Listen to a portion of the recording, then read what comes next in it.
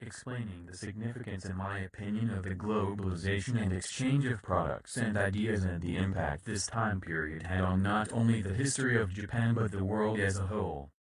The Tokugawa era was named after the Tokugawa shogunate, whose clan united and ruled over Japan as military warlords starting with Tokugawa Ieyasu who took power in 1603. The system of daimyo. The Tokugawa era was also known as the era of peace and during this era a new social caste system arose. This system created three major classes in the daimyo. The Shinpan. The top ruling class was known as Shinpan and consisted of direct and indirect descendants of the Tokugawa shogun, the Fudai. The class directly underneath them were composed of descendants of those that were loyal to Ieyasu before he took power in 1603. This is the class for pretty much everyone else and consisted of other clans that could have been either allies or enemies at the time of their takeover but were now his vassals. The end of the Tokugawa era, approximately 1854 through 1867. The end of the Tokugawa era had seen a large expansion in the amount of schools that could be found across Japan. These schools were largely independent of one another and had no standardized requirements as a whole. The Transition, Meiji Restoration Educational System backslash. The Meiji Restoration era brought along many outside influences and ideas. By the end of the second decade of the Meiji Restoration period the government had created national system of schools that brought a quality standard to the education of students nationwide, which was a large change from the Tokugawa era.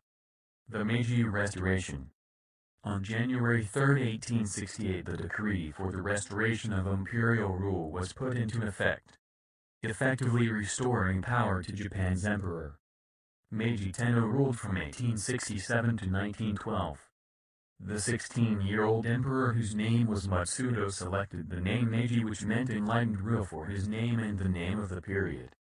Meiji Restoration Systematic Changes in this period Emperor Meiji abolished the daimyo system and instead divided the land into prefectures and transformed Japan into a modern industrial state. Westernization In doing so, Japan fully opened up to the world in a significant way and rushed to transform their military, banking, industrial and taxation institutions to follow Western models, in a short period of time and by the emperor's death Japan was a model example of rapid and successful industrialization and had earned a major seat on the world stage. Why is this significant to history? This significant change in leadership and willingness to open up to foreign goods and ideas and westernization lead Japan to become an industrial powerhouse.